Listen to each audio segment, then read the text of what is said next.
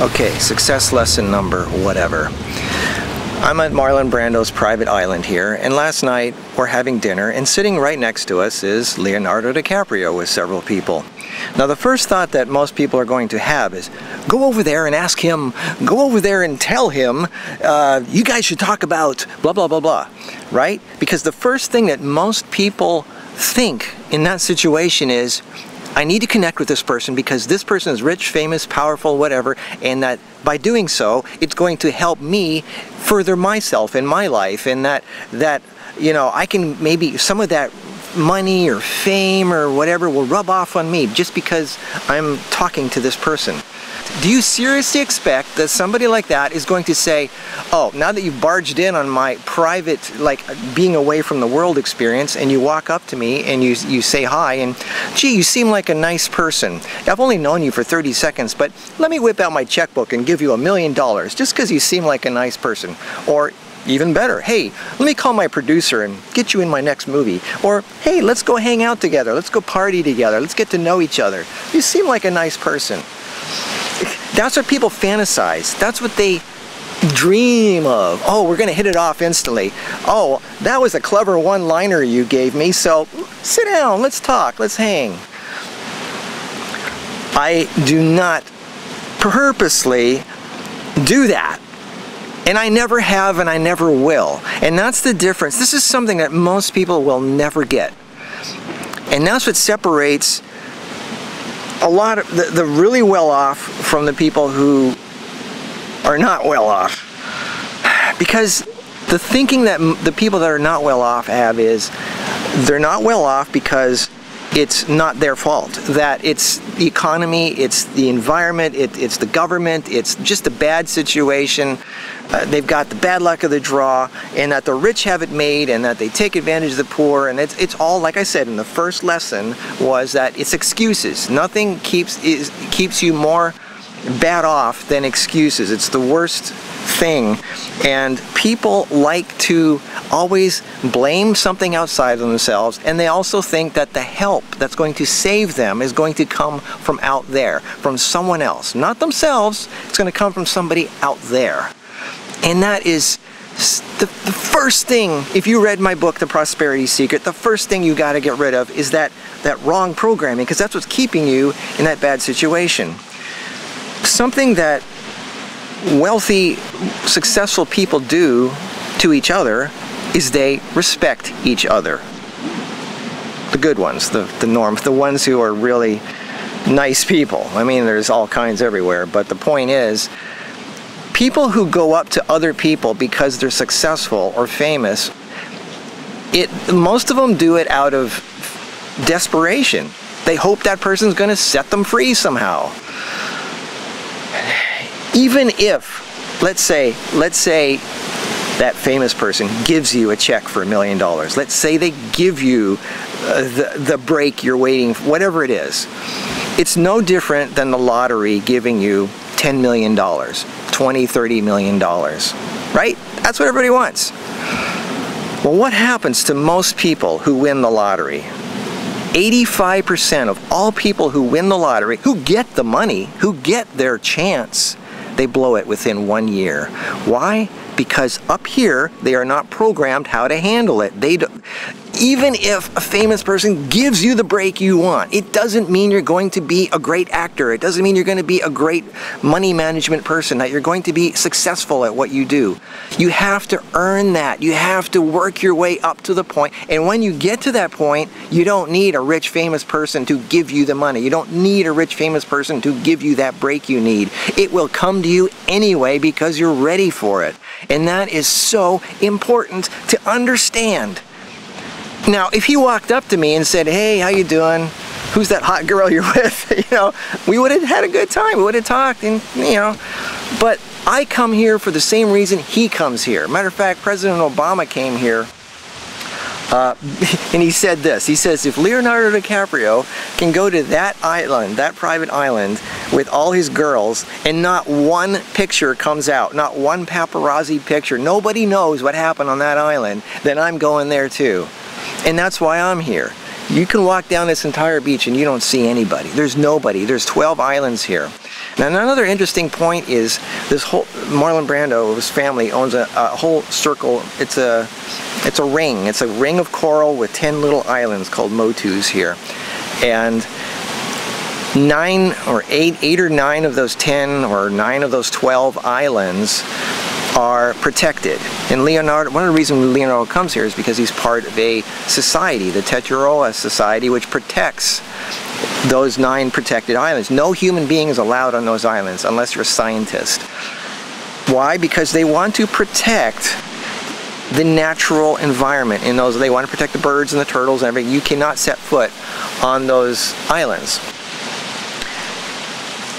Think about it those species, in order to, if you really love something, you let it do what it naturally does. You set it free. If you love something, you set it free and let it do what it normally does. You don't interfere with it. So somebody who's dedicated his life to saving the environment, by saving the environment, you leave the environment alone. You don't go into it and, and shake hands with it and go, hey, how you doing? Let's, let's party together. He represents a society whose purpose it is to leave things alone. Because that's how things thrive. I thrive the best when I'm left alone. I'm not a people person. I mean, I can talk to you through the internet, but I do not like being approached. Uh, I like to be left alone. I think best when I'm alone. I'm a, I'm a loner. I'm a lone wolf. I and Cara is too. We're very. It's it's not really being shy. It's not being unsocial. It's not being that we're mean people. We just work best when we don't have like this distracting energy from other people uh, wanting something from us, asking us a million questions like, how do I do this? How do I do that? Hey, I love you in that and blah, blah, blah. You know, it's like, we don't need that. We don't need the pat on the back and, and the, you know, we thrive. My best ideas come when I'm left alone, when I'm in the corner at a restaurant and nobody talks to me, you know, or I'm at home. And so you have to be in your own element. You have to be in your own space to get the messages you need to make it in life. Stop waiting for someone else to hand you the golden key to get you there. The important thing is to realize the only one who's going to make you make it is you. Nobody's going to give you a free ride. And even if they did, it's probably going to back, it's not going to go very far because you have to earn it. And once you earn it, it's just going to come naturally and everything will work out the way it's supposed to. You know, they, they say if you hand someone a gift for free, they're not going to appreciate it. But if they work for that gift, they appreciate it a lot more. I've given some stuff for free to you know people who were. This is another thing. Like people say, well, why don't you just give your information away for free if you really want to help people? Well, I did that. I've done that numerous times. Somebody was dying or they had some terrible disease or whatever, and I gave them everything they needed. I gave them the products and the books. Here, read this. Do this. You think they did it? People somehow subconsciously think if you give them something for free that it's not worth anything. It must not be worth much. But if they if they pay for it, if they really if they really want something and they pay for it, they earn it, they work for it, then they feel like it must be worth something because they worked for it. They there, there's some effort in there. And it's the same thing. The only difference between the two is the perception, and that's another thing I write about in both the prosperity secret and instructions for a new life. How you perceive things makes all the difference in the world. The thing is the same, but how much you use something, to what degree it helps you, and is all based on how you perceive it. You can use the most minimal thing that most people think is worthless to your advantage to make you successful. And that's what the, the really well-off people, the wealthy people know, is they look around the world and they see everything through a different set of eyes. They see things as, that looks like a bad situation, but how can I use that to my advantage to not only help myself but also help others? I can make something out of that that's going to be useful, that I can monetize somehow, that I could, you know, somehow, and it's not always about money, it's about giving something out that the world and the universe gives you something back for you will be taken care of. And that's not always about money. You can be given whatever it is you need transportation, homes, friends, jobs without any money being involved.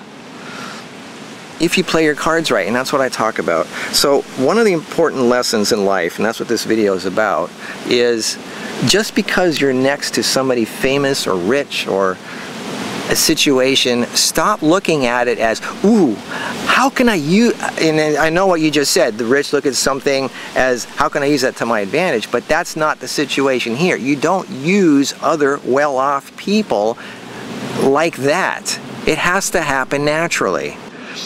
And the same thing about when you use things to your advantage, it has to happen naturally. It's not something that you force. It's not something you have to work your way into and butt into somebody else's situation or life and annoy them. And, and okay, here's a good example.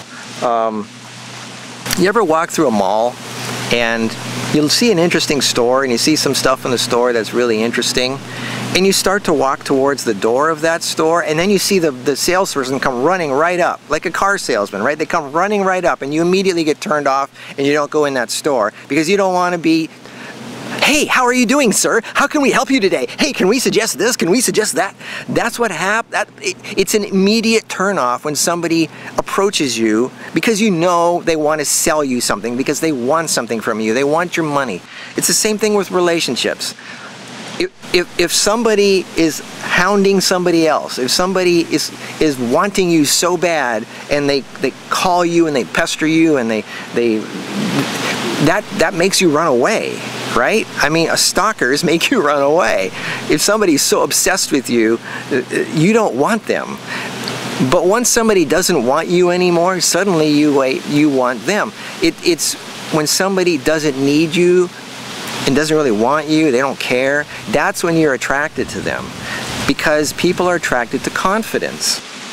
That's the most attractive thing that women will say about a man. It's not how they look, and it's not necessarily the money. It's the confidence, the confidence that that man has in himself, that he's making it in life, that he nothing's going to stop him. He's confident. You know that money comes and goes, but what people are looking for is somebody who no matter what they go through, they have the confidence they're going to make it somehow, they're going to figure out a way to make it through there because that's the survival mechanism that is, is, is desirable. You know, everybody goes through bad situations, but it's the attitude and the confidence that you're going to find a way out of that, no matter what it is. That's what the most. That's what's, what's the most attractive to anybody. So, that's my lesson for today. Is stop waiting or looking for something outside of yourself to rescue you, to give you that break. That has to come from you. It has to. And once you make it, then the Leonardo DiCaprios of the world would come, hey buddy, how you doing? You know, and you just hang out and you don't you don't give each other million dollar checks. You just hang out for no reason other than to be friends and just chill, you know, talk about life, but you don't need money or phone calls or producers or, or anything. You don't need that. It just happens. And that's something most people will never understand. You know, they, they, they cannot leave that alone. They cannot understand the preservation of something that they admire by respecting their space and leaving them alone. And if that, if we go to like Bird Island, the next island over is Bird Island, and there's a bunch of birds there. You're not allowed to go on the island because they lay their eggs right on the beach and it's everything. It's a delicate, delicate ecosystem. But if a bird comes over and sits next to you and says, hey, how you doing? And you go, hey, bird, cool, have a conversation, enjoy each other. And then when the time comes, the bird just flies back and, and you live each other's life. That's how it should be. That's how the world should be. Everybody should let everybody live on their own, no agenda, no, you know, I want something from you. I want you to help set me free. We all just get along doing what we do. And things come and go, you know? I mean, relationships will happen, they will fall apart, and it's on the natural flow of life. And you're okay with that. You just let it happen. Whatever happens, happens. It's like Forrest Gump, you know? He met all these famous people, didn't mean anything to him, it just happened. So I hope this helped because this is a serious lesson. People are so desperate to wait for someone else to give them that thing. I know a lot of you are going to say, oh, I, I would have just went up there and said, I loved you in this movie, in that movie, and gee, what do you, I'm so proud of you for being a member of the, the, uh, the Green Society and all that, and going to the World Summit, and, you know, Eh, come on, he hears that every five minutes. You think that's really going to make his day? You're going to annoy the hell out of him no matter what you say. You got to wait for somebody like that to be intrigued, interested in you, smile at you, walk up to you, say hi, whatever it is, it's not your job to do the opposite. If you respect others, not only will they, but the universe, God, will respect you and give you whatever it is that you need to feel happy and be successful in your life. So I hope this helped. I will see you in the next video. So many lessons that people need to learn about success. But I want you to get there, but you can't just jump from here to here. You gotta, you gotta earn it. You gotta know, you gotta recognize the steps and know what to do when you get there. So I hope this helps, giving you this stuff for free. Everything that I is in my books, I'm telling you in my videos. Anyway, that's it. I'll see you in the next video. Bye-bye.